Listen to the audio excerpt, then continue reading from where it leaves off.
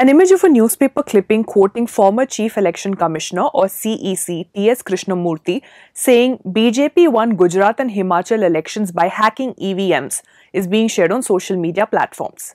An internet search with the relevant keywords led us to a circular dated 11th March 2021 by the Election Commission of India or ECI stating that an FIR has been lodged against the fake news about EVM hacking attributed to former CEC T.S. Krishnamurthy.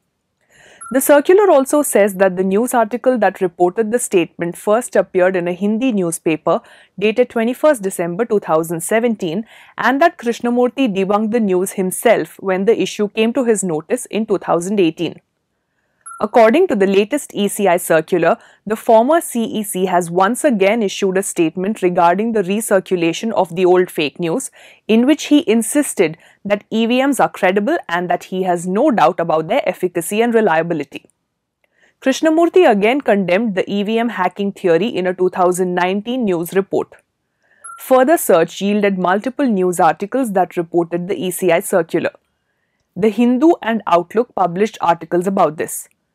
Misleading posts like these are being shared on social media platforms in the light of the upcoming elections in five Indian states.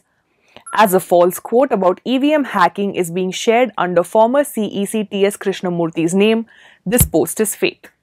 When you come across a piece of news that seems too ridiculous to be true, don't leave things to doubt. Run searches on Google and Yandex and weigh out the true and false of the situation for yourself by looking at the facts. But first of all, before you hit that forward button, pause.